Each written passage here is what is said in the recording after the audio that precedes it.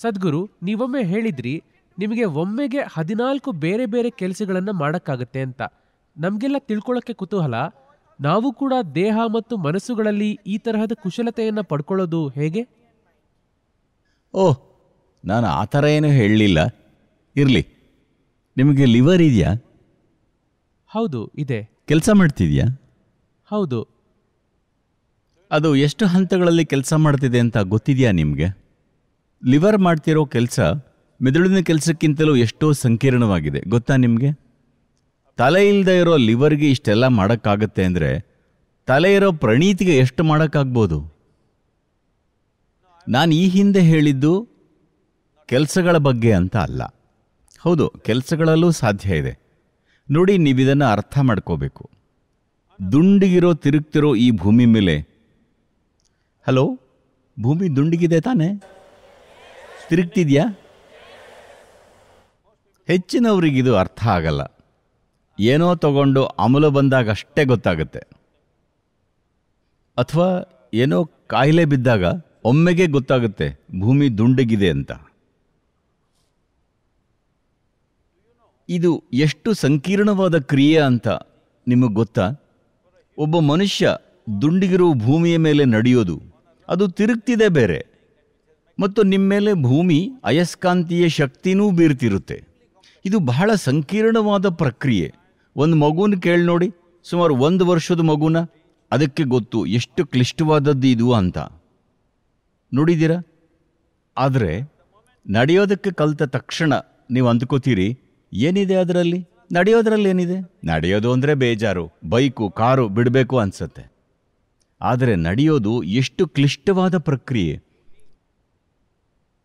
ಹದಿನಾಲ್ಕು ಅಲ್ಲ, ಸಾವಿರಾರು ಕಾರ್ಯಗಳನ್ನು ನಿಮ್ಮ ಮಂಡಿ, ಮೆದುಳು, ಶರೀರದ ದ್ರವಗಳು ಮಾಡ್ತಾನೇ ಇವೆ. ಹಾಗಾದರೆ ನಿಮಗೆ ಇದನ್ನು ಪ್ರಜ್ಞಾಪೂರ್ವಕವಾಗಿ ಮಾಡೋದಿಕ್ಕಾದರೆ ನೀವು ಸಾವಿರ ವಿಷಯಗಳನ್ನು ಒಮ್ಮೆಲೆ ಮಾಡ್ತಿರ್ತೀರಾ? ಹೇಗಿದ್ರೂ ಮಾಡ್ತಿದ್ದೀರಾ?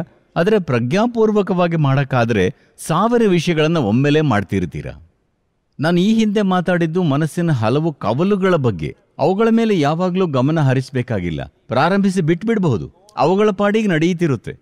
ಪಕ್ಕದ ಮನೆ ಹುಡುಗಿ ಬಗ್ಗೆ ಯೋಚಿಸೋದಕ್ಕೆ ನೀವು ಗಮನ ಕೊಟ್ಟು ಯೋಚಿಸಬೇಕಾ? ಇಲ್ಲ. ಅವಳನ್ನು ನೋಡಿದ್ರೆ ಸಾಕು, ಅದರ ಪಾಡಿಗೆ ನಡೀತಿರುತ್ತೆ ಯೋಚನೆ. ಯಾಕಂದ್ರೆ, ಅದರಿಂದ ಸೆಳೆಯಲ್ಪಟ್ಟಿದ್ದೀರಾ? ಒಮ್ಮೆಲೆ ಹತ್ತು ಸಂಖ್ಯೆಗಳಿಂದ ನೀವು ಸೆಳೆಯಲ್ಪಟ್ಟರೆ ಮನಸ್ಸಿಗೆ ಹತ್ತು ಬೇರೆ ಬೇರೆ ಕವಲುಗಳನ್ನು ಸೃಷ್ಟಿಸಿ ಓಡಿಸೋ ಸಾಮರ್ಥ್ಯ ಇದೆ. ಒಂದು ಗಣಿತದ ಸಮಸ್ಯೆ, ಒಂದು ಅನುಭವ, ಸಂಗೀತದ ರಾಗ, ಅದು, ಇದು, ನೂರಾರು ಸಂಖ್ಯೆಗಳು ಒಮ್ಮೆಲೆ ಯಾಕಂದ್ರೆ ಮನುಷ್ಯನ ಮನಸ್ಸು ಅಷ್ಟು ಸಂಕೀರ್ಣವಾಗಿದೆ.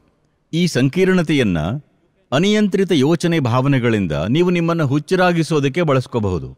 ಅಥವಾ ಅದನ್ನು ಸರಿಯಾಗಿ ಬಳಸಿದರೆ ಯಾರು ಕಲ್ಪಿಸ್ಕೊಳ್ಳದೇ ಇರೋದನ್ನು ಅದು ಮಾಡುತ್ತೆ. ಅದು ಒಂದು ಪವಾಡದ ಥರ ಕೆಲಸ ಮಾಡುತ್ತೆ. ಅಪೂರ್ವವಾದ ಸಂಖ್ಯೆಗಳನ್ನು ಹುಟ್ಟು ಹಾಕಬಹುದು. ಅಗತ್ಯವಾದ ತರಬೇತಿ ಸಿಕ್ಕಿದ್ರೆ. ಅಲ್ಲಿ ಯಾರಾದರೂ ನಡೀತಿದ್ರೆ ಹೇಗೆ ನಡೀತಿದ್ದಾರೆ ಅಂತ ನೀವು ಗಮನಿಸಿದ್ರೆ, ಅವರು ದೈಹಿಕವಾಗಿ ಸ್ವಸ್ಥರಾಗಿದ್ದಾರಾ ಇಲ್ವಾ ಅಂತ ತಿಳ್ಕೋಬಹುದು. ಅಲ್ವಾ? ದೇಹದ ಮೇಲೆ ಕೆಲಸ ನಡೆದಿದ್ಯಾ ಅಂತ ಕಾಣಲ್ವಾ ಬರೀ ನಡಿಗೆಯಿಂದ. ಹಾಗೇನೆ, ಮನಸ್ಸಿನ ಮೇಲೆ ಕೆಲಸ ನಡೆದಿದೆಯಾ ಇಲ್ವಾ? ಪ್ರಾಣಶಕ್ತಿ ಮೇಲೆ ಕೆಲಸ ನಡೆದಿದ್ಯಾ ಇಲ್ವಾ ಅನ್ನೋದು ಕಾಣುತ್ತೆ. ಹೆಚ್ಚಿನವರು ಗಮನಿಸಲ್ಲ, ಅದರ ಗಮನ ಇಟ್ಟರೆ ಕಾಣಿಸುತ್ತೆ. ಈಗ ಹೆಚ್ಚಿನ ಮನುಷ್ಯರ ಸಮಸ್ಯೆ ಏನಂದರೆ, ನಿಮಗೊಂದು ಸೂಪರ್ ಸೂಪರ್ ಸೂಪರ್ ಕಂಪ್ಯೂಟರ್ ಸಿಕ್ಕಿದೆ. ಭೂಮಿ ಮೇಲಿರೋ ಅತ್ಯಂತ ಪರಿಷ್ಕೃತವಾದ ಯಂತ್ರ ಈ ಮನುಷ್ಯ ಜೀವಿ.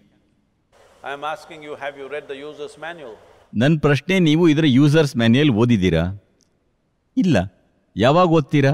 ಕೊನೆ ದಿನ?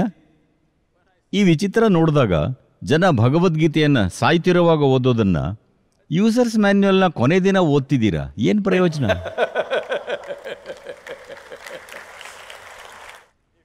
ಒಂದು ಫೋನ್ ತಗೊಂಡ್ರೆ ಯೂಸರ್ಸ್ ಮ್ಯಾನ್ಯಲ್ನ ಮೂರು ದಿನದೊಳಗೆ ಓದಬೇಕಾ? ಅಥವಾ ಮೂರು ವರ್ಷ ಆದಮೇಲೆ ಫೋನ್ ಬಿಸಾಕೋವಾಗ ಓದೋದಾ? ಮೂರು ದಿನದೊಳಗೆ ಓದಬೇಕು. ಈಗ ನಾನು ನಿಮಗೆ ಏನೋ ಶಾಸ್ತ್ರ ಓದಿ ಅಂತಿಲ್ಲ. ಇದೇ ಒಂದು ಜೀವಂತ ಶಾಸ್ತ್ರ. ಇದನ್ನು ಓದೋದಕ್ಕೆ ಸಮರ್ಥರಾಗಬೇಕು ತಾನೆ? ಇದರ ಸ್ವರೂಪ ಏನು? ಪೂರ್ತಿ ಸಾಮರ್ಥ್ಯ ಏನು? ಅಂತ ತಿಳ್ಕೋಬೇಕು ತಾನೆ? ಯಾಕಂದರೆ ನಿಮ್ಮ ಜೀವನ ಇರೋದು ಹೊರಗಿನ ವಿಷಯಗಳ ಬಗ್ಗೆ ಅಲ್ಲ. ಜೀವನ ಇರೋದು ಇದರ ಬಗ್ಗೆ. ಏನೂ ಆಯ್ಕೆ ಇಲ್ಲ ಇದರಲ್ಲಿ. ಆದರೆ ಈ ಜೀವವನ್ನ ಏನಕ್ಕೋ ಗುಲಾಮವಾಗಿಸ್ಕೊಂಡು ಜೀವನ ಅದರ ಬಗ್ಗೆ ಅಂದ್ಕೋಬಹುದು. ಆದರೆ ನಿಜವಾಗಿ ಅದು ಇದ್ರ ಬಗ್ಗೆ ಅಷ್ಟೇ. ಒಪ್ಕೋತೀರಾ? ಈಗ ನಿಮ್ಮ ಜೀವನ ಶಿಕ್ಷಣದ ಬಗ್ಗೆ ಅಂದ್ಕೋತಿದ್ದೀರಿ. ಇಲ್ಲ. ನಿಮ್ಮ ಜೀವನ ಇದ್ರ ಬಗ್ಗೆ. ನಿಮಗೆ ಇದು ಶಿಕ್ಷಿತವಾಗಬೇಕು. ನಿಮಗೆ ಇದು ಚೆನ್ನಾಗಿರಬೇಕು. ನಿಮಗೆ ಇದು ಪ್ರೀತಿಯನ್ನು ಅನುಭವಿಸಬೇಕು. ನಿಮಗೆ ಇದು ಸುಖವನ್ನು ಅನುಭವಿಸಬೇಕು. ನಿಮಗೆ ಇದು ಇದನ್ನೆಲ್ಲ ಮಾಡಬೇಕು. ಬೇರೆ ಎಲ್ಲ ವಿಷಯಗಳು ಬರೀ ಹೋಗೋ ಬರೋ ಅಂಥವು. ಮೂಲ ವಿಷಯ ಇದು, ಅಲ್ವಾ? ಮೂಲ ವಿಷಯ ಇದು ಅಂತಾದರೆ ಇದಕ್ಕೆ ಒಂದು ಮಟ್ಟಿನ ಗಮನ ಬೇಕು ತಾನೆ. ಗಮನ ಅಂದರೆ ಕನ್ನಡಿ ಮುಂದೆ ನಿಂತು ಕೊನೆನೇ ಇಲ್ಲದ ಹಾಗೆ ನಿಮ್ಮ ಚರ್ಮ ನೋಡ್ಕೊಳ್ಳೋದಲ್ಲ. ಈ ಮನುಷ್ಯ ಜೀವಿಯನ್ನು ರಚಿಸೋ ಪ್ರತಿಯೊಂದು ಆಯಾಮಕ್ಕೆ ನೀವು ಗಮನ ಹರಿಸಬೇಕು, ಅಲ್ವಾ? ಏನು ನಡೆಸುತ್ತೆ ಈ ಜೀವವನ್ನ, ಮತ್ತೆ ಹೇಗೆ? ಇದನ್ನ ಏನು ನಡೆಸುತ್ತೆ ಅಂತ ತಿಳ್ಕೊಂಡ್ರೆ ಅದನ್ನು ಅಬ್ಬರಿಸೋ ಹಾಗೆ ಮಾಡಬಹುದು. ಅಬ್ಬರಿಸೋ ಹಾಗೆ ಮಾಡಿದರೆ ಹದಿನಾಲ್ಕು ಯಾಕೆ ಇನ್ನೂ ಎಷ್ಟೋ ಮಾಡಬಹುದು.